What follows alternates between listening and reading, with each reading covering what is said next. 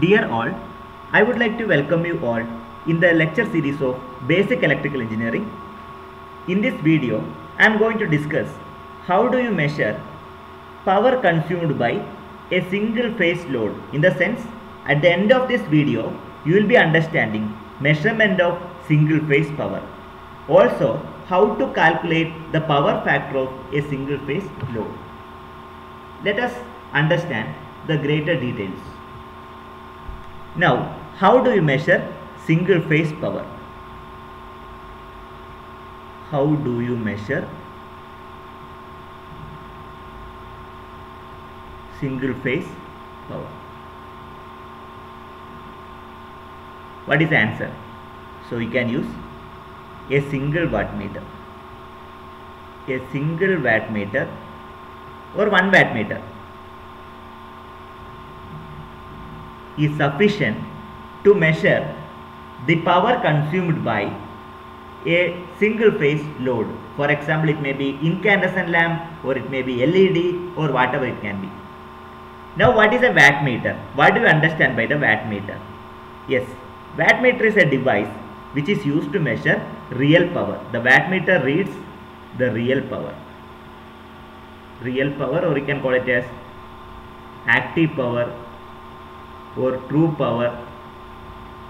All are same only. I, I made a video regarding this or you can write it as a true power. True power. Make a note of this. How wattmeter look like? So in electric circuit in electric diagrams wattmeter can represent like this.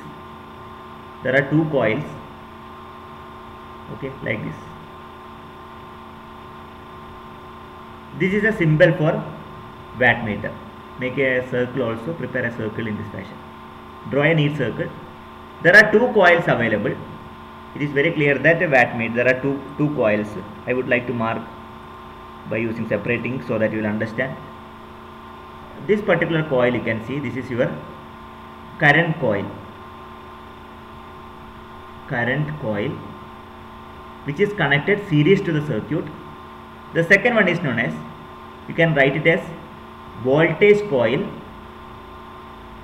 or one can say it's a pressure coil. Pressure coil that will be connected parallel to the circuit.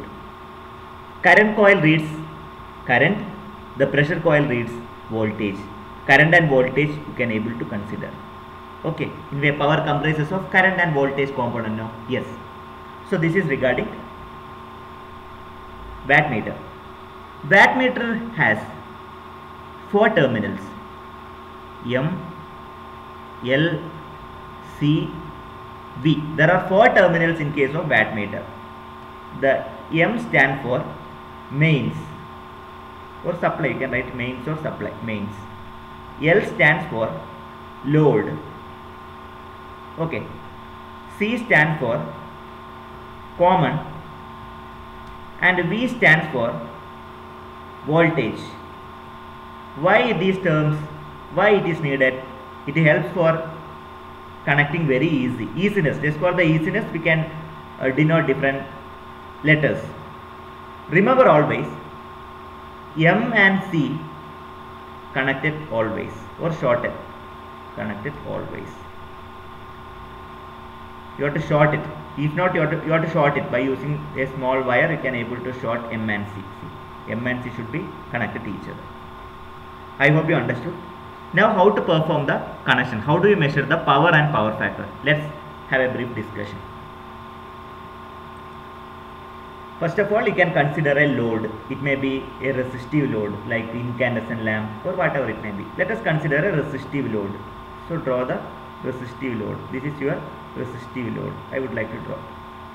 Correct? Now, consider a single phase supply.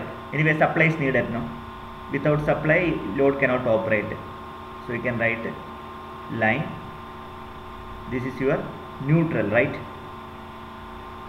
single phase supply now now you have to connect the wattmeter how to connect the wattmeter so current coil that is connected series now current coil will always connect series to the circuit. Now I wanted to draw the voltage coil or pressure coil. This is your voltage coil or pressure coil. That will connect parallel no? I already explained this. So you can connect like this. This is your voltage coil. So make a circle. Usually we we have to draw the circle like this. Draw neatly. I am drawing the freehand drawing. M l c and v. This is your resistive load. Resistive load correct? So okay, if you want you can connect the ammeter for measure the current ammeter. This is your ammeter. AC ammeter no? You represent like this.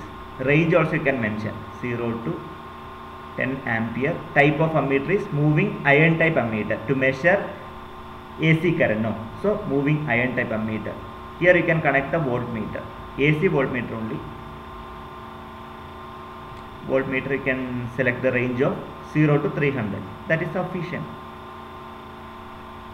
0 to 300 volt moving iron. That is sufficient. Single phase supply right?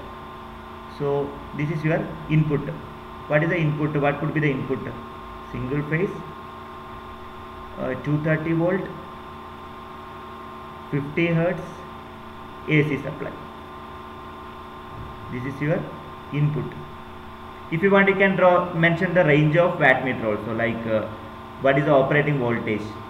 300 volt 10 amps UPF because it's a resistive load then better go for UPF wattmeter only unity power factor wattmeter if it is LED then you can go for L L LPF wattmeter like that you can plan accordingly. Now provide the supply. Provide the supply. Supply switch is closed. Supply switch is closed. Okay supply switch is closed. Then take down the reading of wattmeter take down uh, the wattmeter reading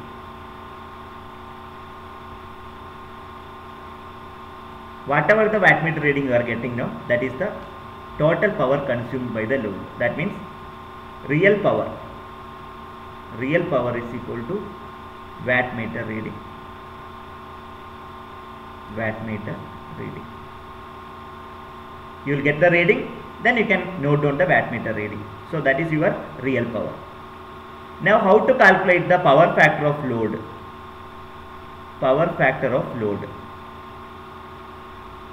how to calculate this? Any idea? So what is power factor? Power factor is equal to cos phi right? Cos phi.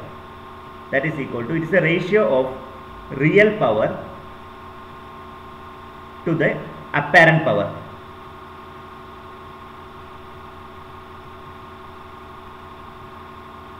Correct?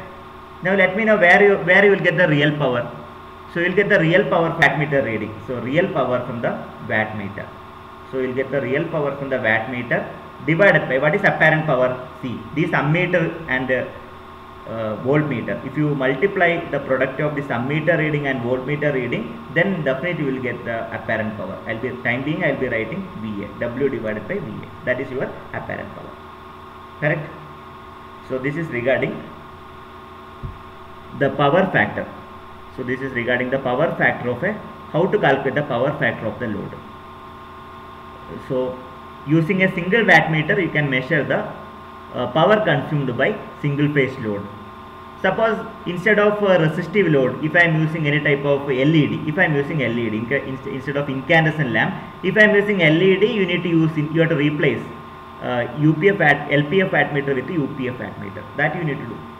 Okay so this is the way how to calculate the power consumed by single phase load. So in this session what i discussed is i have discussed about how to measure the single phase power. Using the single phase power how to measure the single phase power? Using a wattmeter i can measure single phase power.